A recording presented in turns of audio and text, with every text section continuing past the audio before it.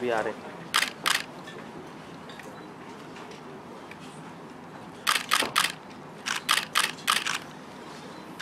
for you to consider investing in India, doing business in India. Today we are a two and a half trillion dollar economy, slated to become almost five by 2025, and a 10 trillion dollar economy by 2030. Our growth rates, GDP growth rates are among the highest, the highest actually of any major economy today.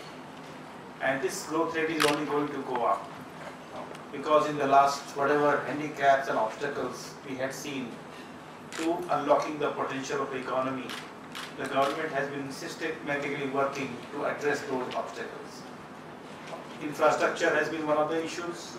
The high cost of logistics has been one of the challenges for doing business.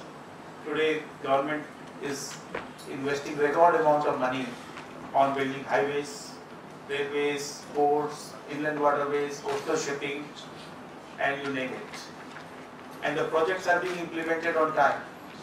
Our Honorable Prime Minister himself is monitoring the timely completion of the important infrastructure projects in the country. We have a young population, but skill development was one of the challenges. One of the biggest programs for the government in the last four years has been the skill development program. The industry, whether it's manufacturing or services or infrastructure, or construction, they need skilled manpower. And today, this is one of our largest programs.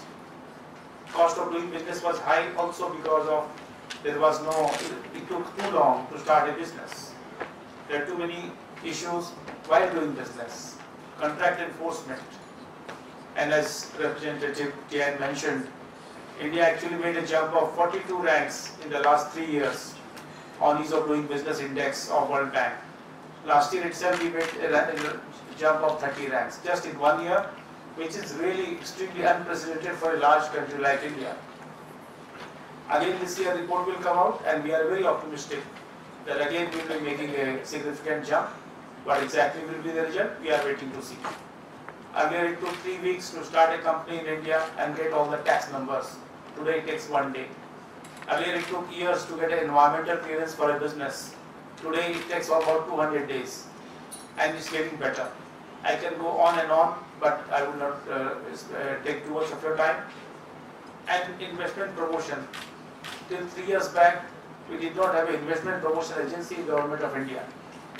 And today, in last three years, Invest India is today actively facilitating 90 billion US dollars of 500 deals in the country. Our FDI policies have been liberalized so much that we are having record inflow of FDI in the country. We have had almost 230 billion of FDI in the last four or four years. And this year again, we are seeing a jump of almost 20% compared to last year in the first quarter. So the potential is tremendous. There is ease of doing more ease of doing business and it's getting better. The governments are taking tough decisions. Goods and services tax was waiting to be implemented for so long, maybe more than two decades. The idea came 20 years back and today it has been implemented. And all the parties in power, states, center, they have all worked together to implement GST. Insolvency and bankruptcy code is helping the banks resolve businesses and the problem of doing balance sheet. The states are very proactive, offering incentives, wooing businesses and trying to get you there.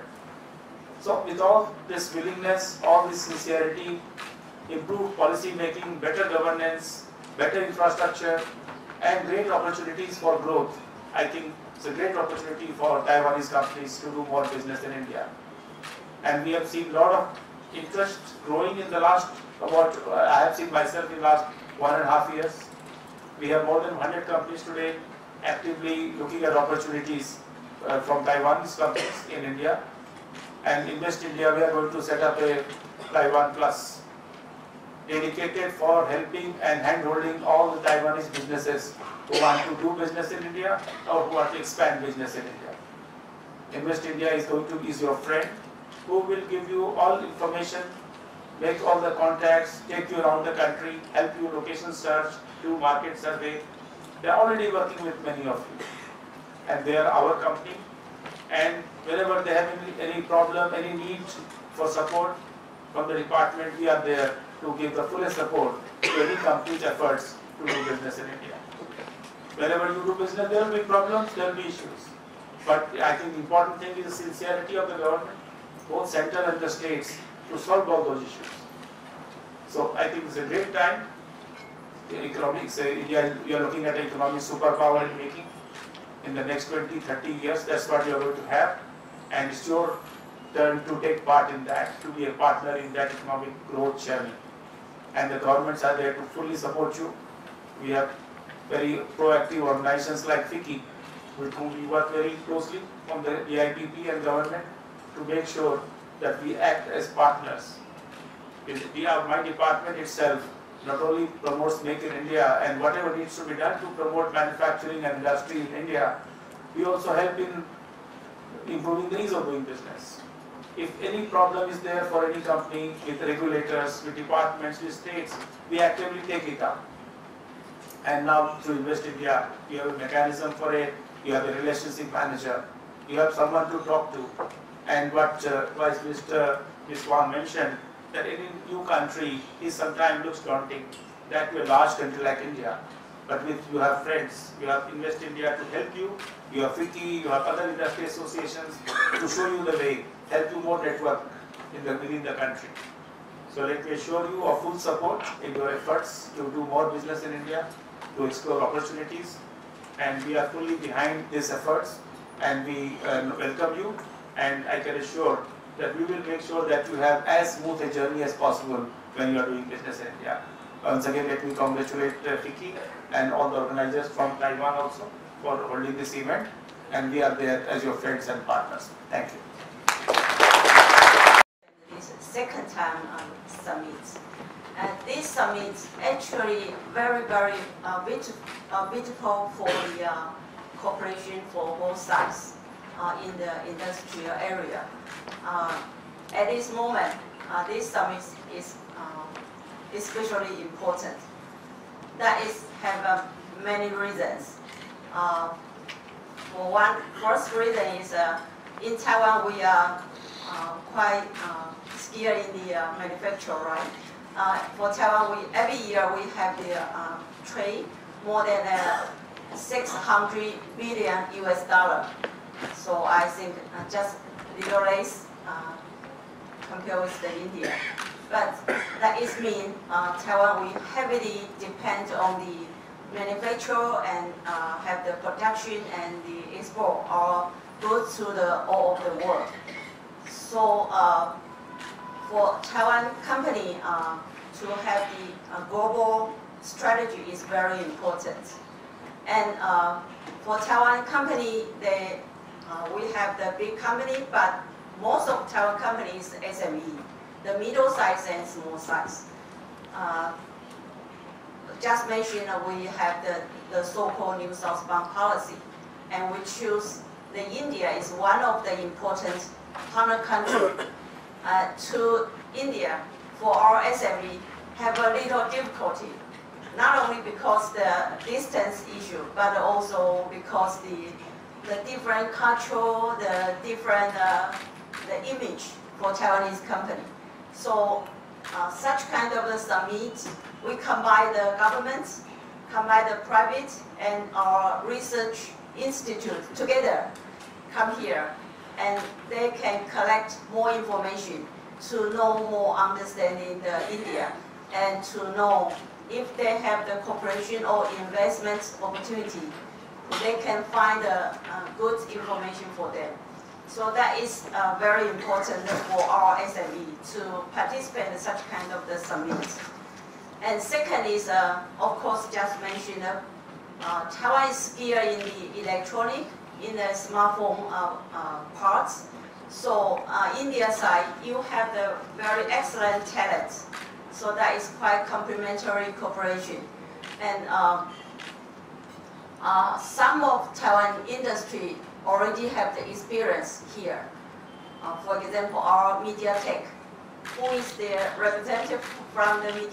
Changed the way of doing business. In the easy to do business, they have uh, uh, improved from 140 to 100, which is a big improvement. And also they changed the, the red tape into the uh, red carpet that we can also feel the welcome, the uh, atmosphere for the businessmen from Taiwan. And I think there are two very important factors for this uh, two sides can meet together. One, I think, is uh, uh, the Act East policy. The other one is the uh, New Southbound policies. I think these two policies really benefit our two people. And Taiwan, we use our innate uh, capability of hardware capability and uh, match the Indians' uh, software capability. I can, I think we really make some something different. We can make a miracle happen. And uh, having said that, we are not only concentrated in business, we also concentrated these two countries. We concentrated in uh, education, which we provided uh, uh, scholarships for the talented young Indian students to study in Taiwan. They study in Taiwan not only for the, uh, their career, uh, their uh, diploma, they can also be the pioneer for Taiwanese businessmen. They want to come to India. They will be the pioneer for in Taiwan, Taiwanese company to come to India. I think this is the great benefit for the uh, both sides. It's a win-win situation. Looking ahead, I want to uh, echo that uh, uh, Prime Minister Modi's new India initiative. There are a couple of things. Uh, is the national health protection programs. Number two, implementation of GST. Number three, use of IT to increase the efficiency in housing, water, sanitation, uh, and skill development. And Taiwan, all in this area, we can contribute to the uh, goal of uh, Mr. Modi's uh, New Indian initiative. So I would like to uh, ask my, my Taiwan businessmen to look into those areas to make your contribution and make your contribution and uh, uh, to make your business in those, particularly those four areas, which is uh, looking ahead. Having said that, let me once again thank you, uh, FICCI, and uh, to host such wonderful forum, and I wish you have a successful forum. Thank you very much.